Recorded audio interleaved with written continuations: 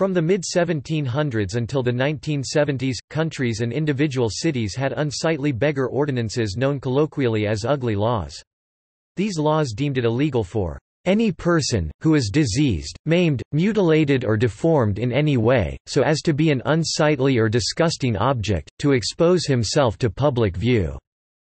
Exceptions to public exposure were acceptable only if the people were subjects of demonstration. To illustrate the separation of disabled from non-disabled and their need for reformation, the charity organization Society suggested that the best charity relief would be to investigate and counsel the people needing assistance instead of provide them with material relief.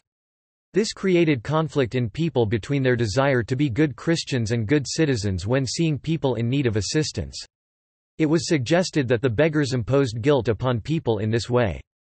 Pauperism is a disease upon the community, a sore upon the body politic, and being a disease, it must be, as far as possible, removed, and the curative purpose must be behind all our thought and effort for the pauper class. Similar to what Slocum said, other authors suggested that giving charity to beggars without knowing what was to be done with the funds, was as culpable as one who fires a gun into a crowd. In the mid 1970s, disability activists and authors, Marcia Pearce Burgdorf and Robert Burgdorf Jr. created the term ugly laws. While the wording of the laws and ordinances did not contain the term ugly, this term encompasses the essence of the laws and ordinances and is used to identify this type of law or ordinance. Ugly laws of the Philippines In 1902, an ugly law similar to that of the United States was enacted in the city of Manila in the Philippines. This law was similar to those of the United States, being written in English and during a time when Manila was under American control, and included the common phrasing no person who is diseased. This was one of the first ordinances to be written under American control. Other ordinances dealt with hygiene reform and considered unsightly beggars part of this indicative. Ugly laws of the United Kingdom In 1729 punishment was recommended for people with physical disabilities, whether they were born with disabilities or acquired later in life, who appeared in public. These concepts were covered by what were colloquially known as unsightly beggar ordinances. As recently as 2004 in Camden, a beggar with a wound on his neck was charged with an anti-social behavior order. This barred him from re-entering the town. Ugly laws of the United States From the late 1800s until the 1970s, some American cities had unsightly beggar ordinances known colloquially as ugly laws. These laws deemed it illegal for any person, who is diseased, maimed, mutilated or deformed in any way, so as to be an unsightly or disgusting object, to expose himself to public view. History Americans' sense of individualism places the responsibility for personal needs with each individual. American individualism coupled with the assumption that disability is associated with lower socioeconomic status and race plus the failure of the Americans to develop a comprehensive universal health care and welfare system led to the development of the ugly laws. Ugly laws arose in the late 19th century in the United States. During this period, urban spaces underwent an influx of new residents, which placed strain on the existing communities. The new residents were sometimes impoverished. This meant large numbers of people who were strangers to each other now occupied closer quarters than they had in small towns, where such local institutions as schools, families, and churches helped moderate social relations. As a reaction to this influx of people who were impoverished, ministers, charitable organizers, city planners, and city officials across the United States worked to create ugly laws for their community. The language of the unsightly beggar ordinances pertained to hiding the parts of the person that may appear disabled or diseased. This includes any movements that would indicate a disability or disease, like limping. The first American ordinance pertaining to preventing people with disabilities from appearing in public was one passed in 1867 in San Francisco, California. This ordinance had to do with the broader topic of begging. It is noted that people who were perhaps in need of money traveled to California to strike it rich during the California Gold Rush. When they did not find themselves wealthy, they remained in California. Letters and documents from the period just after the California Gold Rush note the large number of insane people wandering the streets. Helper 1948 even refers to the insane people as pitiable nuisance and remarked that they were allowed in public with no one to care for them. New Orleans, Louisiana had a similar law police were strictly enforcing in 1883. A New Orleans newspaper reported on the city adopting a tough stance on begging as other cities in the United States had. Portland, Oregon enacted an ugly law in 1881. The Chicago Ordinance of 1881 read as follows, any person who is diseased, maimed, mutilated, or in any way deformed, so as to be an unsightly or disgusting object, or an improper person to be allowed in or on the streets, highways, thoroughfares, or public places in the city, shall not therein or thereon expose himself to public view, under the penalty of a fine of $1 for each offense Chicago City Code 1881. The fine of $1 equates to more than $20 in 2018. In most cities, punishments for violating an ugly law ranged from incarceration to fines of up to $50 for each offense. In May 1881, the Unsightly Beggar Ordinance went into effect in Chicago, Illinois. It was created by Chicago Alderman James Peevey. Peevey is quoted in the Chicago Tribune from May 19, 1881 saying of the ordinance, "...its object is to abolish all street obstructions." Ugly laws identified groups of people as disturbing the flow of public life and banned them from public spaces. Such people, deemed unsightly or unseemly, were usually impoverished and often beggars. Thus ugly laws were methods by which lawmakers attempted to remove the poor from sight. Laws similar to the one in Chicago followed in Denver, Colorado and Lincoln, Nebraska in 1889.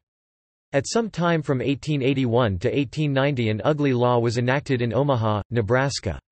Additionally, ugly laws were sparked by the Panic of 1893. These included Columbus, Ohio in 1894, and in 1891 for the entire state of Pennsylvania. Pennsylvania's was different as it contained language applying to cognitive disability as well as physical disability. An attempt was made at introducing ugly laws in New York, but it failed in 1895. Initial drafts in New York were similar to those in Pennsylvania as to include cognitive disabilities. Reno, Nevada instituted an ordinance before 1905. Los Angeles, California attempted to pass an ordinance in 1913. Historically, ugly laws can be found under the headings of unsightly beggar law or unsightly beggar ordinance. Enforcement People charged under the ugly law were either charged a fine or held in jail until they could be sent to the poor house or work farm. The wording in the San Francisco Ordinance indicates violators will be sent to the almshouse. This connects with the Victorian-era poor law policy. Historian Brad Byrom noted ugly laws have been unevenly and rarely enforced, being disregarded by police. The first recorded arrest pertaining to ugly laws was Martin Oates in San Francisco, California in July 1867. Oates was a former Union soldier during the American Civil War. The ugly laws did not restrict performances of people with disabilities for the purpose of entertainment or eliciting disgust, but rather restricted people with disabilities from mingling with the general public. Use of the ugly laws to control the use of public spaces by people with disabilities was still occurring after the signing of the Rehabilitation Act of 1973. Racism also played a role in the enforcement of ugly laws. In San Francisco, Chinese immigrants and their descendants were unlawfully quarantined to prevent spread of disease and epidemics. The last recorded arrest related to an ugly law was in 1974, in regard to an Omaha, Nebraska ordinance. In that instance, the man arrested was homeless and the officer arresting him did so under the guise of the ugly law as the man had visible scars and marks on his body. The judge, Walter Cropper, and assistant prosecutor, Richard Epstein, in this case noted there was no legal definition for ugly and criminal prosecution would demand proving someone is ugly. The end result was the city prosecutor, Gary Buckino, did not file charges noting while the law was still active, just this person did not meet the definition. Repeal Many ugly laws were not repealed until the mid-1970s. Omaha, Nebraska repealed its ugly law in 1967, yet had an arrest of a person for violating the unsightly beggar ordinance documented in 1974. Columbus, Ohio withdrew its in 1972.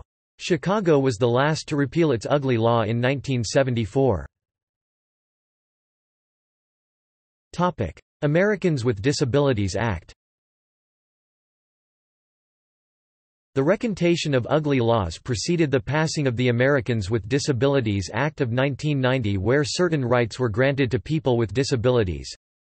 Individuals with disabilities are a discrete and insular minority who have been faced with restrictions and limitations, subjected to a history of purposeful unequal treatment, and relegated to a position of political powerlessness in our society, based on characteristics that are beyond the control of such individuals and resulting from stereotypic assumptions not truly indicative of the individual ability of such individuals to participate in, and contribute to, society.